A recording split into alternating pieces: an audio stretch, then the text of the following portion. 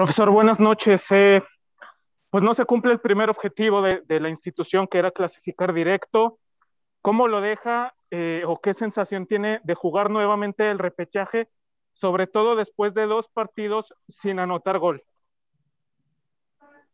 Sí, tomamos, como vos decís, bueno, buenas noches primero, este, sin hacer un análisis de lo que marcó el equipo hoy, este, de lo que fue a buscar, de las situaciones que creó, la amarramos.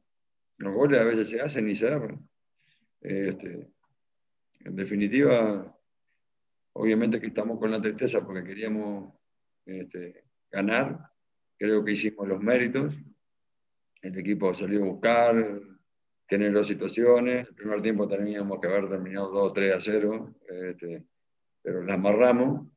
Y como siempre digo, uno puede entrenar hasta la situación de gol, después el que define es el futbolista, ¿no? Más que no le explique la, la manera que se define, pero la verdad tengo que felicitarlos porque permanentemente fueron a buscar, fueron al frente, y bueno, se dan un partido cada, cada tanto, ¿no? No, no, pudimos traslucir en la red todo lo que generamos, más allá que ellos nos, nos generaron alguna situación en el juego aéreo que sabíamos que podía pasar o en alguna jugada fortuita como la del primer tiempo, que fue un rebote y quedó un jugador solo. Así que seguramente si seguimos por esta línea, lo que tenemos que mejorar, obviamente, que para marcar la diferencia son los goles, ¿no?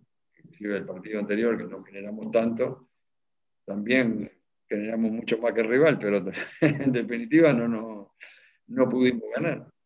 Este, así que nos deja tranquilo la entrega, la actitud, el fútbol por el momento que fue muy bueno, a pesar de que enfrentamos un equipo que puso línea de cinco, cuatro volantes por delante y prácticamente defendía con mucha gente. Y bueno, este, es un equipo muy joven el nuestro, un poco más de tranquilidad, pero indudablemente estamos con, con muchas esperanzas para el próximo partido y hay un equipo con muchísimo futuro por la juventud que obviamente hay, ¿no? Adelante, Daniel Velasco.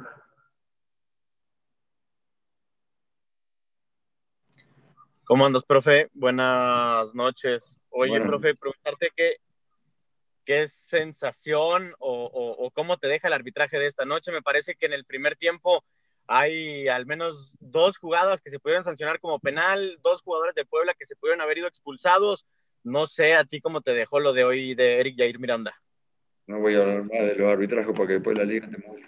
Entonces, el que tenga que tomar medidas, yo la verdad no, no hablo más, este, porque después nos hacen, repitan, nos quitan a nosotros y uno no puede expresarse a pesar de ser protagonista del fútbol, uno no puede brindar una opinión, porque si la brinda con respeto, no creo que esté defendiendo a nadie porque todos nos equivocamos, pero después cae la multa, así que no me voy a expresar ese tema. Gracias, profe. Adelante, Fernanda Arellano. Gracias, Aldo. Profe, buenas noches. Fernanda Arellano para Socradictos MX. ¿Qué tanto les pega anímicamente el no pues clasificar directamente a la liguilla y considerando también esta parte de la falta de gol en los últimos encuentros, ¿qué crees que le falta todavía aún a tu equipo? No nos va a pegar nada porque tenemos, dependemos de nosotros. No hay que, o sea, jugar un gran partido. Eh, lo tengo que felicitar. Este, obviamente nos falta traducirlo en la red, que no es poca cosa, pero tenemos que seguir trabajando. Este, eh, dependemos de nosotros, vamos a jugar de local el, el fin de semana que viene. Y si repetimos la actuación de hoy, seguramente el fútbol tiene una lógica. A veces suceden en las situaciones de hoy.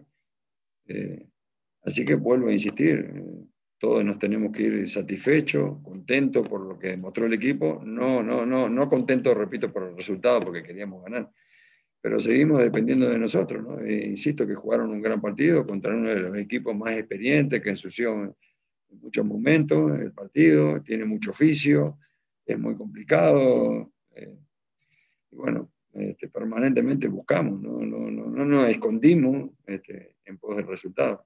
Sí nos preocupa, obviamente, las situaciones de gol que amarramos, no, no, no voy a esconder eso, este, porque tuvimos este, muchas y en definitiva es por donde se ganan los partidos. pero seguramente estoy convencido que son rachas que, que, tienen los delanteros y que, bueno, tenemos que perfeccionarla para traslucirlo en el marcador después las situaciones. Adelante, Orlando Castellán. Gracias, Aldo. Buenas noches para todos. Buenas noches, profe Armada. Buenas noches. Orlando Castellán, Servicio Informativo en Deportes. Profe, si bien lo dice hoy, el equipo no está jugando mal, porque hay que decirlo, ¿no? Porque se ve y lo plasman dentro del campo de juego, pero lo que usted dice que es la falta de gol, lo que no les ha llegado a dar los, los puntos necesarios para haber estado en, los primeros cuatro de la tabla. Hoy en día podemos poner a Santos en la posición que está como un buen candidato a, estar en la siguiente fase de la liguilla, estar en los primeros ocho, seguir más allá de independientemente de saber del rival si es Querétaro o sea Pumas, pero por lo que viene mostrando puede, podemos decir que Santos puede lograr esos objetivos que poco a poco lo va, lo va logrando con, con todo lo que tuvo durante la temporada, las bajas y que hoy ya van llegando más chicos que se van este, sumando, que ya no hay tanto lesionado. ¿Se puede ver ya el mejor Santos en esta liguilla? Bueno, eso esperemos, ¿no? Este, eh, por más que se han sumado algunos jugadores lesionados, no están en, su mejor forma por falta de tiempo, ¿no? Obviamente este, tuvieron mucho, mucho tiempo parado y eso se siente en, en, en el ritmo, en el juego de los, de los futbolistas.